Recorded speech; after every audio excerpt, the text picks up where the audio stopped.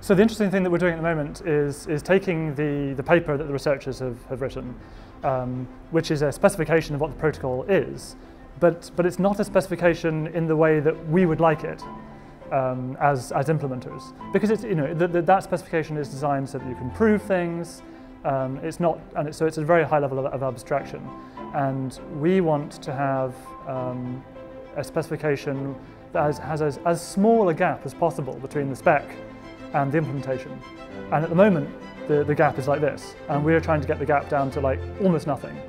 And so that means we have to start from the paper and come up with, re, re-specify it, extract the specification of the protocol, put it in a notation that's, that's appropriate for us, and then do a whole step by step of uh, refinements.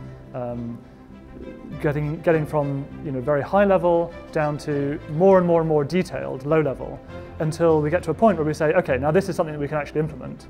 And then hopefully we can say, well, you know, you kind of look at the code and the, and the spec together and say, these are the same. We've now, we've now got, you know, we've, meet, we've, we've got a meeting between the spec and the implementation, and at least initially we'll just you know, eyeball it and say, okay, those are the same thing. Uh, and then that is something that then can then be run um, and, and we're then pretty sure that it's what we want. So at the moment, we have just got to the stage of um, re-specifying the, the paper's description of the protocol uh, in, a, in a new style. Um, and already that's forced me and the researchers to, to ask some you know, pernickety detailed questions of what does that mean exactly? What is, what is that representation? And what about this? And where did you get that from?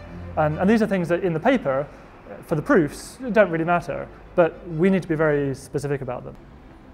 When we're talking about Cardano, we are actually aiming for decentralization, right? And we're aiming for, for something that's that's that, that, that actually that is quite unprecedented because uh, we also want uh, the the system to have different properties depending on you know who or how will it be ran or regulated, okay? So um, that is why our great scientists came up with this great protocol called Ouroboros, uh, which is based on proof of stake. And um, over the past months, we have, we have implemented it uh, to a full extent. Uh, well, at least all the fundamental features are there, right? Uh, we're still we're still uh, working on uh, reward system and incentive structure, having discussions, you know, if, if, it, if it should be even there um, in the production. I mean, it's analyzed in the paper, but we're sort of thinking about it now.